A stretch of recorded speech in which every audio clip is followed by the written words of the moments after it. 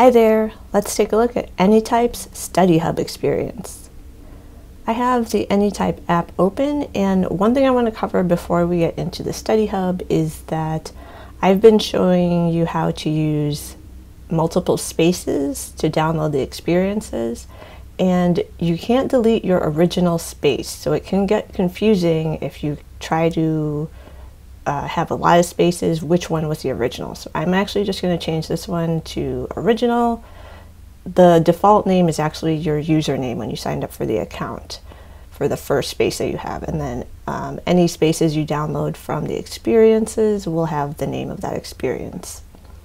Okay, go to the help menu and select any experience gallery that will open up in a browser. And we're going to look for the study hub which is here. All right, click that open an app button and I'm going to close out of this browser and maximize the AnyType app. I selected the drop down so I can put it in a new space and it's importing and at the bottom you can select go to space. Okay, so first thing I want to do is I want to have the study hub be the landing page when I open the app. So go up to the settings for the space in the top left corner and you can change the home page. So I've changed it to the study hub set. Click on the spaces. I'm going to just switch over to my original space really quick. And now if I click on the study hub, the initial page is actually the study hub set that I change to be the home page. Okay, now here I want to just clean up my side widgets for a minute. And now I'm going to edit the cover image on this page. So click on the cover, change cover, and Unsplash has free stock photos you can use. I'm going to actually use a Hogwarts example for this video. So this one looks good. And the images take up a lot of space. You'll have to like reposition them a little bit to get them where you want. But just know whatever the image size is from Unsplash, you can't change it unless you download it and crop it yourself. All right, I changed the icon to some books. So there's something in here already and if I open it up it looks like this. So it's mostly blank. It has a lecture topic somewhere in there linked and I actually want to edit the template. So the template is just the pre-formatted object that you're using and it's right here if you edit it, you need to go to the three dots and select Edit Template. Okay, so now that I'm in the template, I'm going to open this up into full page view and let's just remove the cover because I don't really want this cover on all of my courses and I don't want an icon yet. I just want to pick that once I start entering each course. Now here you'll see different relations and if you click on the triangle in the top right you can also see the same relations. So anything that has a star next to it shows up under the the object of description.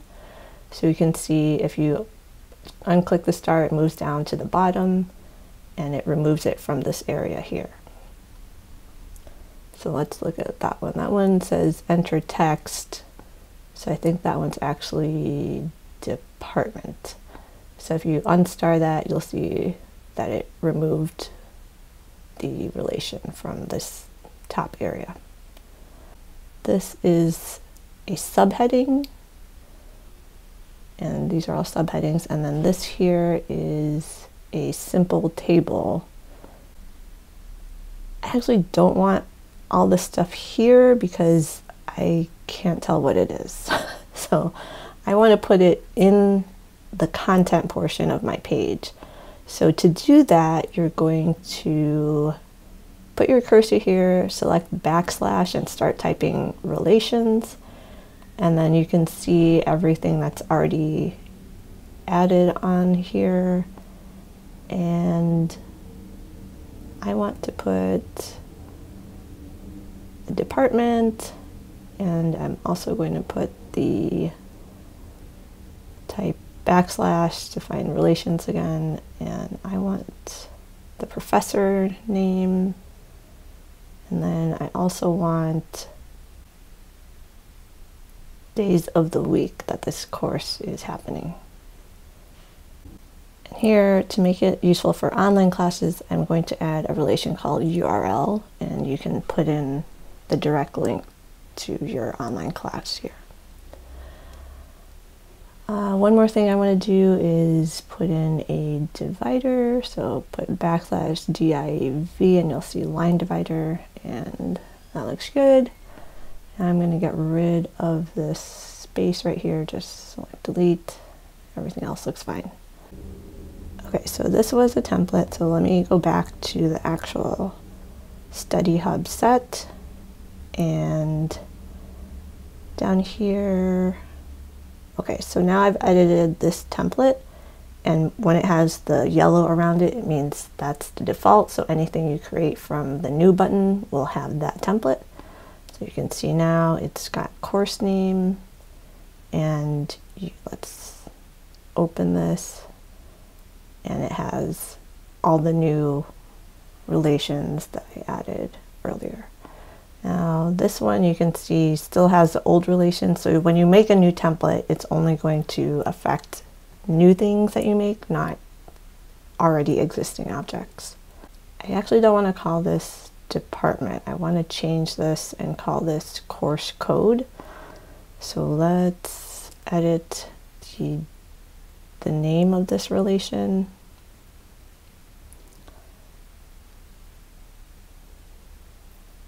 So right click and let's call this course code instead of department and save. And then let's look at our template edit template. And it did change from department to course code. So that's great. Um, so whatever I enter here I know will be in the template for the next object I make. All right so here if you want to enter just click on the pencil icon Otherwise it will open in the new screen. And I'm going to call this one Flying Lessons.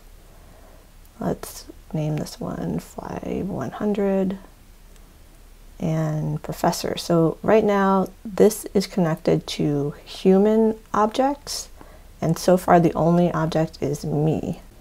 So I'm just going to start typing the name of the new professor that I want and underneath here you want to select create new object.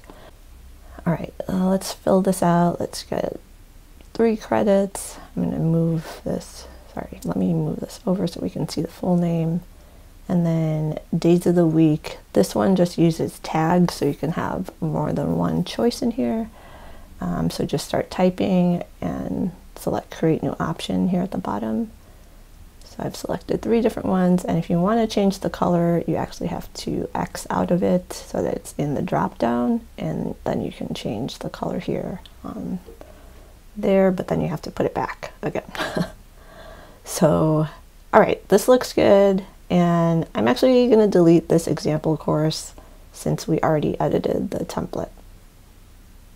Now I'm just going to speed through this section where I'm adding two more courses herbology and potions, and I'm adding the associated relations as well. All right, now that I have all three courses, I'm going to add a new view. And instead of a grid, I want to use the gallery view. This is a card view.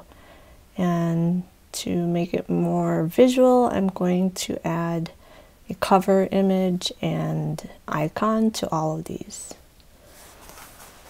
So open up flying lessons and above the title of the object you can find the cover icon and I'm selecting Unsplash. The best images are actually ones that have something in the middle. If you pick images that have stuff at the top and bottom, it's not going to look that great. Okay, so again, I'm going to speed through this section. I'm picking images for um, herbology and potions class, and also little icons too. Now that I have all three of those, I want to edit some of the information on the card. So go to settings and then relations. And then here you can just change the toggle to hide or show whatever you want on here. So now I just have the object, the professor, and the days of the week. Now what I want to do is open up the potions page and let's make it full screen. This experience has a table in it and they linked to the lecture notes in the table. And the lecture notes is an actual object type and it also has a template associated with it. So you can do this by selecting the at symbol and you can link to anything that's already existing. But if you want to make something new, just type the title of the new lecture and then at the bottom of this menu, you'll see the plus sign create object, potions, and then whatever the title is. So select that. And now it's linked in this table. So now when you open it, the only problem here is that it's a note. So you still have to choose lecture notes as the object and you have to choose the template if you wanted the pre-filled out um, form. So now if I go to this column is called assignments, you could do the same thing, but you have to use the at symbol and then start typing the name of whatever assignment you want to make. So I'm calling this Read Potions Chapter 1 and on the menu select plus create new object and again here it doesn't even show task in my menu at the top, so you have to go to My Types, select task, and now it has that little box with the check mark on it. And it also shows up here on the left side under widgets. This set is actually a set of called My Assignments, but they're all tasks. So let's um, go back to Potions page this little box is not a relation, it's just part of the layout of a task. So you, if you check that box, um, you won't see it here if you start adding relations. Sorry, I clicked too many times.